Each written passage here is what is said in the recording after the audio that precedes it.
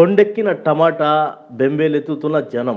Corona దెబ్బకు కూరగాయల ధరలు కూడా చుక్కల నంటుతున్నాయి వారం క్రితం కిలో ఐదు రూపాయలు పలికిన టమాటా ఇప్పుడు ఏకంగా యాభై దాటింది. వారం క్రితం వరకు నేల చూపులు చూసిన టమాటా ధర ఒక్కసారిగా రెక్కలు వచ్చాయి. అమాంతం పెరిగి ధరలు కొండెక్కి కూర్చున్నాయి.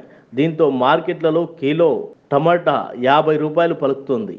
మార్కెట్లో వీటి ధరల బోర్డును చూసి జనం బెంబేలెత్తిపోతున్నారు. ఇలా అయితే కూరగాయలు కొనేది ఎలా అంటూ వాపోతున్నారు. అసలే కరోనా సీజన్.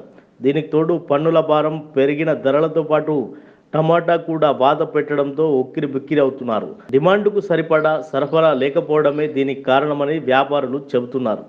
మరో రెండు నెలల వరకు కూడా పరిస్థితి ఇలాగే ఉండే అవకాశం ఉందని అంటున్నారు. సాగు విస్తీర్ణం తగ్గిపోవడం దీనికి ప్రధాన కారణమని చెబుతున్నారు.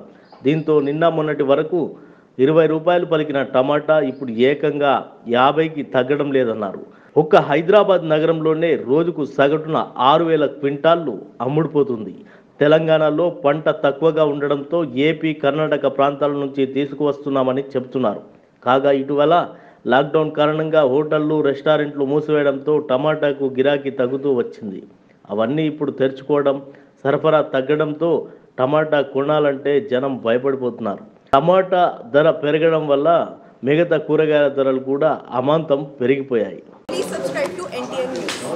అందరికీ నమస్కారం. నేను మీ సవారి నందు. సో మంచి ఇంట్రెస్టింగ్ అప్డేట్స్ మీకు కావాలి. లేటెస్ట్ అప్డేట్స్ అన్నీ కావాలంటే ఖచ్చితంగా subscribe to NTN news hi this is Chandu Muddu ఓపెట్ కథ డైరెక్టర్ని please subscribe NTN news thank you